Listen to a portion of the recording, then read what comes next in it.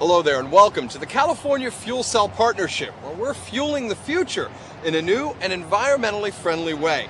We'll have more on that in just a minute. But first, a word about the fueling display that you're looking at. We call it our hydrogen fueling demonstrator, hefty for short. Right now, I'm standing at an actual hydrogen refueling station. It's located here at the California Fuel Cell Partnership. Now, we want to give you an opportunity to see and to feel what it would be like to refuel your own car with hydrogen. Remember, it's the hydrogen that will help that fuel cell make electricity, and that's what powers a fuel cell car. You can try your hand at refueling on Hefty. So let's get started. First, simply go ahead and lift the nozzle. Now be careful, it's heavier than you might think. Okay, now bring it around to that opening where the fuel goes in, just like on your own car. Now place the fuel nozzle over the fuel receptacle. That's called the intake valve. Then you see this short handle here?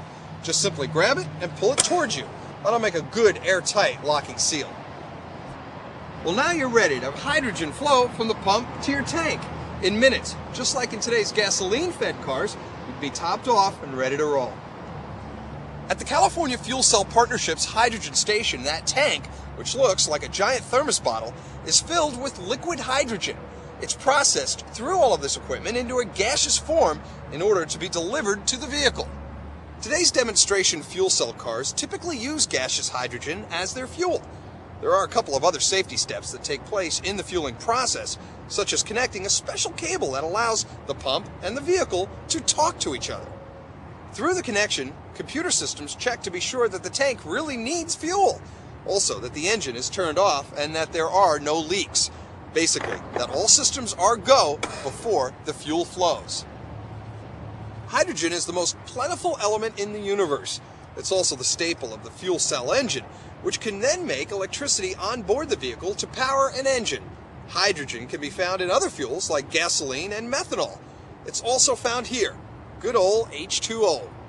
These global energy companies are working on ways to get hydrogen from these sources to your tank, where it can help the fuel cell make clean, efficient, and environmentally friendly power. Fueling the future, that is, using fuels like hydrogen, won't happen overnight. But here in California, we're demonstrating how these fuel alternatives could offer greater energy diversity and efficiency, as well as reduce emissions that cause air pollution and greenhouse gases. Automakers, energy and technology providers, along with government agencies, are voluntarily working together in the California Fuel Cell Partnership to commercialize the fuel cell for cars and buses. Soon you may see some of these cars cruising through your very own neighborhood. Thanks for stopping by. I hope you enjoyed your experience at Fueling the Future.